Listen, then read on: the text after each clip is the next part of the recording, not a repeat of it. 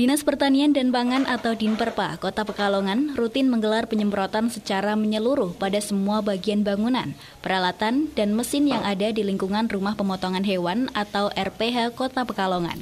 Kegiatan penyemprotan disinfektan tersebut bertujuan menjaga sterilisasi lingkungan RPH.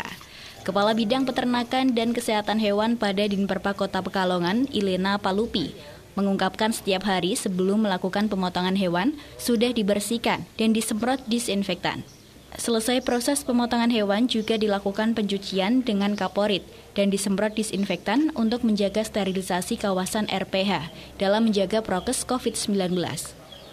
Dirinya mengajak untuk masjid ataupun musola yang akan melakukan kurban nanti sebaiknya dilakukan di RPH agar tidak terjadi kerumunan. Namun jika melakukan pemotongan mandiri harus menerapkan protokol kesehatan yang ketat dan daging hewan kurban untuk dapat diantar ke masyarakat yang berhak agar tidak terjadi kerumunan.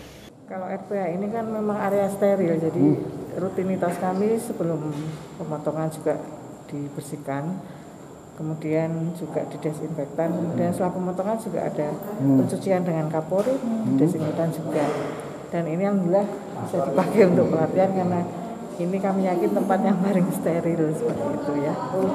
Saya berharap warga masyarakat yang akan melaksanakan pemotongan hewan kurban baik di masjid-masjid maupun di rumah-rumah tolong menjaga prokes COVID karena kita masih ditetapkan sebagai daerah darurat ya zona merah.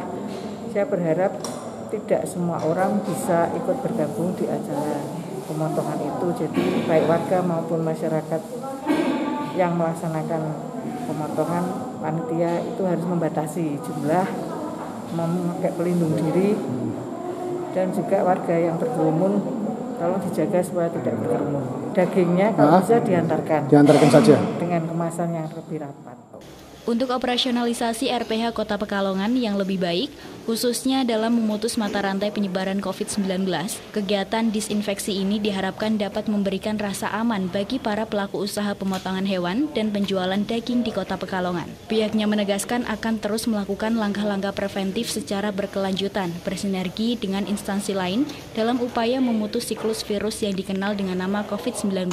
Romi Suharto, Batik TV, melaporkan.